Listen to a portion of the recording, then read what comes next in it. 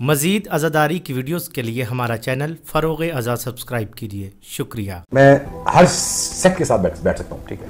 मैंने हर सेक्ट के बारे में पढ़ा। मैंने रायवेंड वालों के साथ टाइम लगा, लगाया। मैंने अहल तशी के साथ टाइम लगाया ठीक है? मैंने अहल के साथ टाइम लगाया। मैं खुद अहल सुन्नत हूँ ठीक? है मैं खुद नक्शबंदी सिलसिले का हूँ। मुझे हर सिलसिले से फैज़ लेना है मुझे हर सिलसिले को जोड़ना भी है।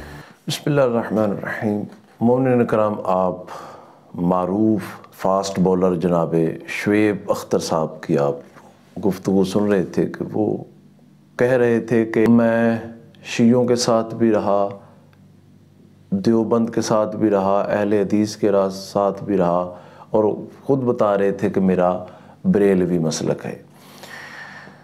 तो उनका जुमले ये थे कि हमें मुसलमानों को आपस में जोड़ना चाहिए, मैं जोड़ने पे बिलीव करता हूँ।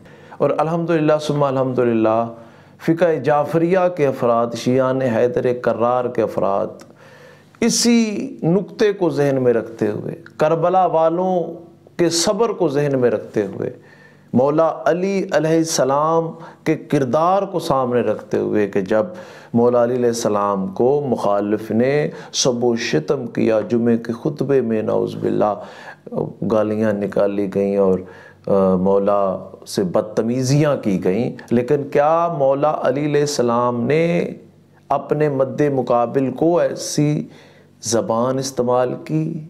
नहीं की ऐसी ज़बान इस्तेमाल। हम शियान अली सलाम उस किरदार की पैरवी करते हुए हम अमन चाहते हैं पाकिस्तान में। और अल्हम्दुलिल्लाह, जितना पाकिस्तान में शिया कौम ने अमन के लिए कोशिशें की हैं शिया कौंसल, हाफिज़ काजम रज़ा साहब हैं, चौधरी सगीर विरक साहब हैं, कासम अली कासमी हैं, अलामा राजा नासर बाज साहब, अलामा शहन शाह नकवी साहब, अलामा सैद हसन ज़फ़र नकवी साहब, यानी इंतहा है। और इसको हमारी बाज़ दफ़ा बाज़ अफराद की तरफ़ से, बाज़ ग्रुप्स की तरफ़ से इसे कमज़ोरी समझा जाता है। कमज़ोरी नहीं है, बल्कि असल इस्लाम ये है कि तुम एक दूसरे को बर्दाश्त करो और हमारे मकतब के अहल तशैय के बुज़ुर्गान ने एक बहुत बड़ा इज्तम किया था जिसमें ये इलामिया था कि हम दूसरे मकतब तो क्या मज़हब के मुकदसात की भी तो इनको अच्छा नहीं समझते। लिहाजा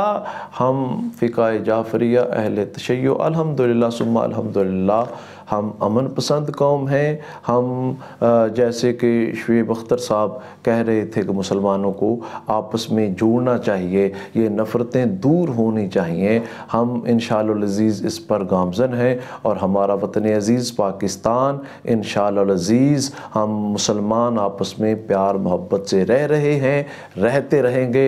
इन अज़ीज़।